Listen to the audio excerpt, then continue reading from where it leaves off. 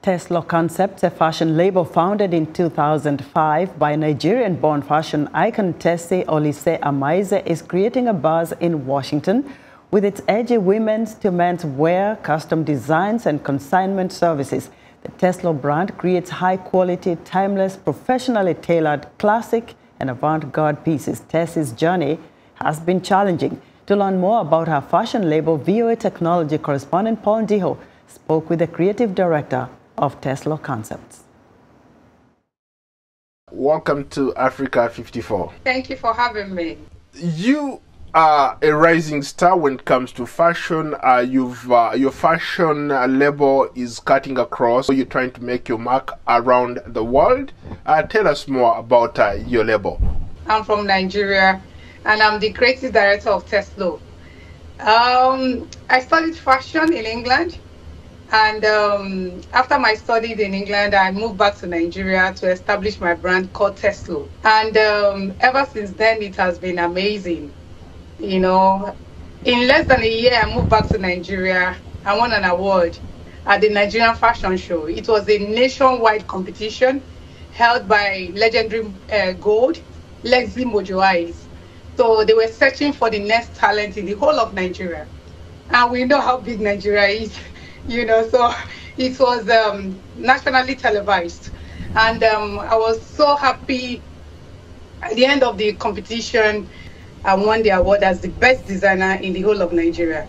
And ever since then, my brand has been showcased all over Nigeria and outside Nigeria. Tell me a little bit about uh, how how how you make uh, some of this stuff. Uh, where do you uh, you create it here in the United States, or you have like a store somewhere in Nigeria where you uh, make all your designs? Yes, I do. They are handmade in the United States of America. I work with local artisans here in the United States of America, and um, I have my internet. Uh, what's it called? I have my social media platforms, Instagram, where people can look at what I do and they place an order, contact me via email in any form, and um, I get it across to them. And we ship worldwide as well. What does it take uh, for a person like you uh, from Nigeria to be competing on a global stage? That's a good question. Um, as you can see, Africa, or Nigeria to be precise, is a place where we find a whole lot of great talents coming out of Africa and Nigeria to be precise. And um, what it takes is creativity. And um, in Africa, we've got a whole lot of creativity in Africa. You know, looking at things right now, Africa is like the next big thing. When you talk about our music, our food, and uh, fashion is becoming the next big thing. So, in that area, being a Nigerian, um, I, I just believe that the world is is expecting a whole lot from us. And um, being a Nigerian, uh, uh, God, by God's willing, it's it's it will be great to take over. I was uh, like uh, uh, browsing over your uh, your website and I saw some really amazing stuff there. What does it take to make some of that stuff? Um, at the moment, Tesslo, I would say it's considered like a bespoke um, um, fashion house where things are being tailored based on your specifications. If you want something that, oh yes, I can, yeah, I want this in blue, I want this in red, we give people that liberty to be able to have things they want the way they want it. So we co-design with people. So in Tesslo concept is one of the things that we consider a lot in Tesslo by working with our clients and um, making sure that we, we make things based on their specifications.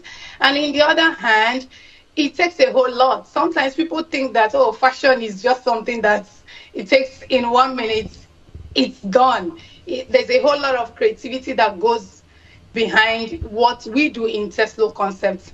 And um, it takes a whole lot of um, days or months, depending on the designs and um, what you actually want. But it's not difficult to to get you what you want.